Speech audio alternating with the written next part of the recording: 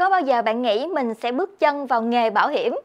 Nếu như chưa, thì đây sẽ là thời điểm mà bạn sẽ suy nghĩ về điều đó. Sau đây chúng ta sẽ cùng điểm qua những lý do mà đa số các bạn trẻ à, dạo gần đây lựa chọn các công ty bảo hiểm nhân thọ làm nơi gắn bó lâu dài và gọi đây là nghề xu hướng.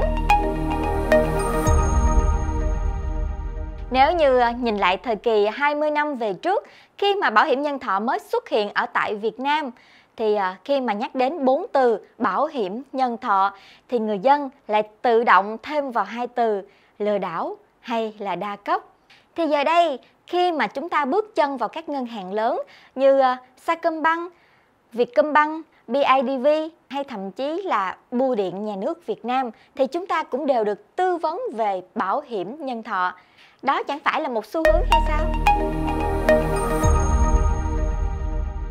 Tiếp theo, khi nhắc đến các bạn tư vấn viên bảo hiểm nhân thọ, chúng ta thường hay liên tưởng ngay đến hình ảnh những bạn à, mặc vest chỉnh chu, đầu thì búi gọn gàng. Có phải là mỗi ngày họ đều được khoác lên mình bộ trang phục đẹp nhất trên thế giới không? Nếu bạn nghĩ là không thì à, các bạn có thể nhìn lại những bộ trang phục của các nguyên thủ quốc gia khi xuất hiện trước công chúng hay là trang phục của chú rể xuất hiện vào ngày trang trọng nhất cuộc đời của anh ấy, bạn sẽ rõ. Và để bàn về chính sách của các công ty bảo hiểm dành cho nhân viên của họ thì ờ, có thể nói có khả năng làm cho nhiều người ao ước. À, người ta thường hay nhắc đến bảo hiểm với những tour du lịch được tổ chức thường xuyên và liên tục cho nhân viên cả trong và ngoài nước.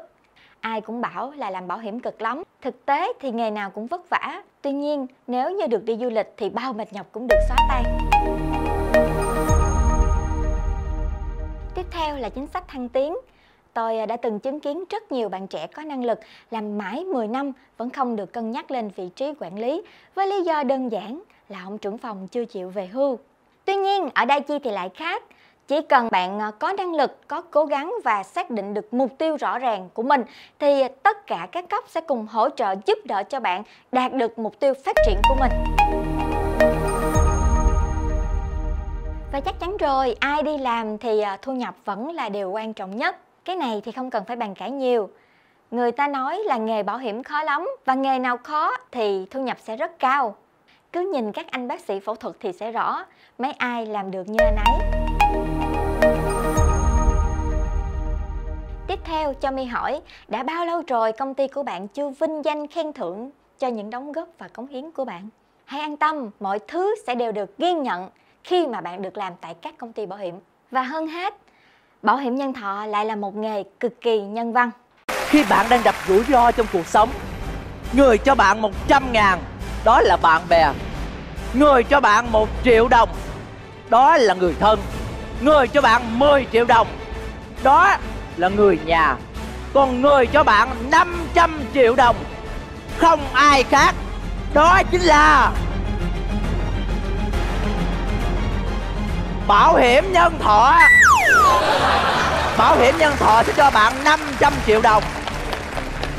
Tham gia bảo hiểm nhân thọ ngay hôm nay Để được bình yên trong tâm trí và thanh thản trong tâm hồn.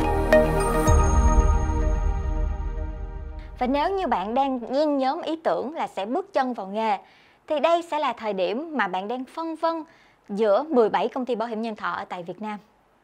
Ai cũng có lý do riêng của mình Đơn giản là vì hợp, vì cái duyên Riêng My, My chọn Daiichi vì những lý do sau đây. Daiichi là một tập đoàn đa quốc gia cực kỳ lớn mạnh, được thành lập vào năm 1902 và có mặt tại hầu khắp các quốc gia trên toàn thế giới. Đứng trên vai người khổng lồ thì cứ tự tin tiến về phía trước các bạn nhé. Chắc hẳn, một hạt giống muốn phát triển tốt cần phải được gieo trồng trong một môi trường tốt. Và Daiichi tự hào là top 100 doanh nghiệp có môi trường làm việc tốt nhất ở tại Việt Nam trong số hàng triệu doanh nghiệp. Mạng lưới văn phòng của Daiichi trải dài từ Bắc vào Nam khắp 63 tỉnh thành, giúp cho tư vấn viên dễ dàng làm việc và giao dịch mọi lúc mọi nơi.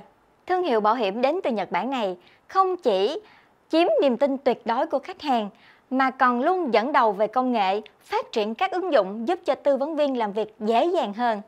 Và đặc biệt, đội ngũ tư vấn viên của Daiichi cực kỳ trẻ trung, năng động, nhiệt quyết, luôn là một khối đoàn kết gắn bó hỗ trợ nhau để giúp nhau cùng nhau phát triển.